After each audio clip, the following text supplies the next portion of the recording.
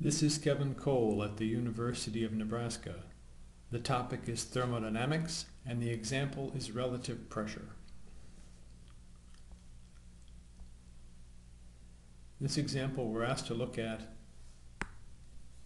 the compression stroke in a piston engine with air starting at 1 atmosphere and 60 Fahrenheit and it's going to be compressed to 2,000 pounds per square inch absolute. We're asked to find the final temperature assuming the process is isentropic using the gas tables and using CV equals constant theory. So the geometry we're asked to think about is a cylinder with a piston in it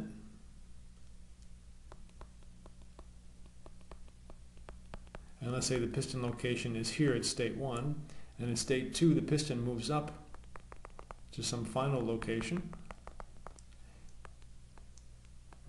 and the volume starts out a large volume uh, trapped in the cylinder and a smaller volume and that produces the pressure rise. For uh, using the gas tables to start with and we're told that it's an isentropic process if the process is isentropic there's a special relationship we can use that says that the actual pressure ratio for the gas property is equal to a quantity PR2 divided by PR1 where PR is taken from the air tables and PR is the relative pressure. Now, it's not really a pressure, it's a function of temperature that's useful only in an isentropic process.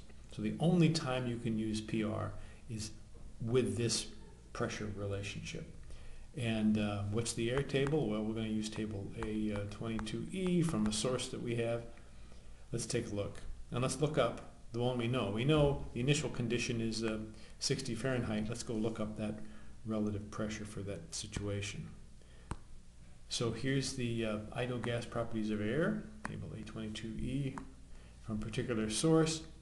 Uh, everything in this table is a function of temperature. Temperature comes down this way, but temperature is Rankine, so we need to take our 60 Fahrenheit and we need to add 460 to get 520 Rankine. That's our beginning state, and we're lucky to have that entry here.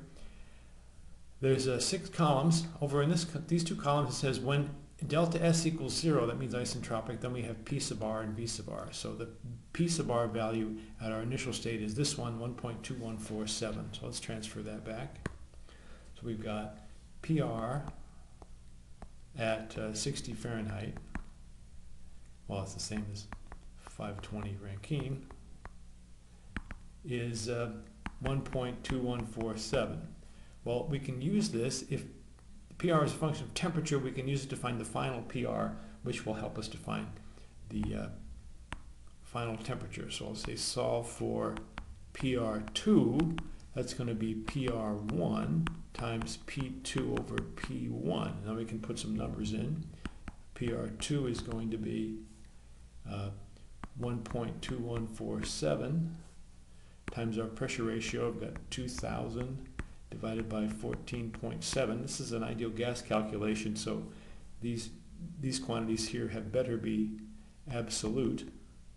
How do we know we've got absolute pressure? Well, here's PSI-A, 2000 PSI-A for the final condition, 14.7 PSI-A for the initial condition. So those are indeed absolute temperatures. I'm sorry, absolute pressures.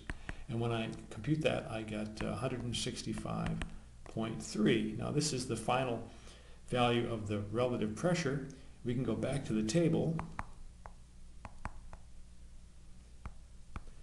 at PR equals 165.3 and look up T2.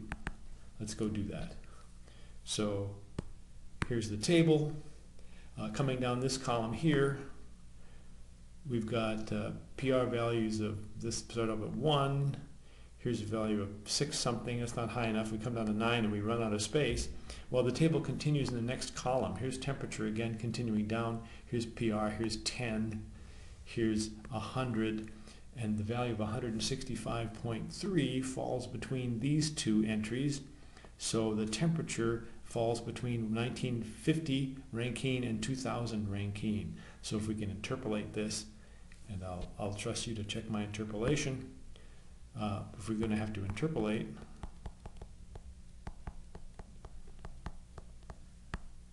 and we'll find that T2 is uh, 1973 Rankine, which is the same as 1513 Fahrenheit. So there's the answer for T2 using the, the uh, air tables. And the temperature, of course, gets quite warm with that amount of compression. Part B, we're asked to find the uh, final temperature using CV equals constant theory. I'll scroll up a bit here. And in CV, CV equals constant theory, we use a quantity called the specific heat ratio.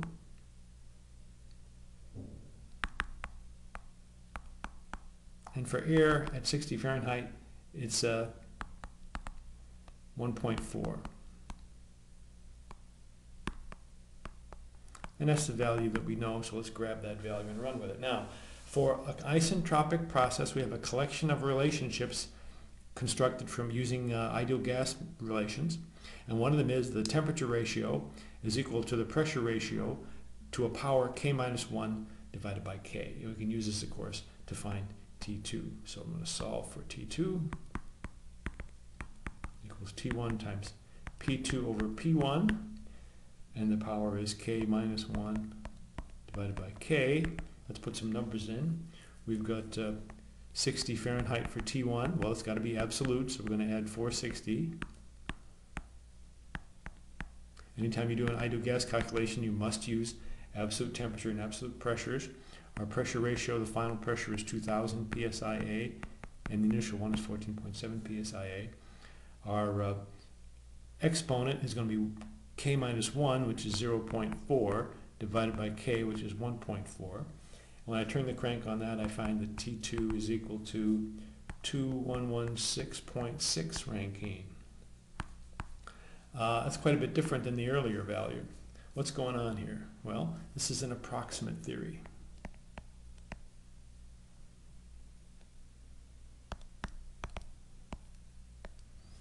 That's an approximate theory. What's the percent error for this approximate theory? It's going to be 2116.6 minus the good value, 1.1973 divided by 1973 times 100%. And I get a 7.3% error. That's pretty big. Why would an engineer be interested in a large error? Well, this, this theory, we can compute this without a table. So that's an advantage. And it gives the correct trend. Sometimes correct trend. Sometimes engineers need the trend more than they need an accurate final value. And so this must be a, this may be we'll, we'll call this a, a quick and dirty method.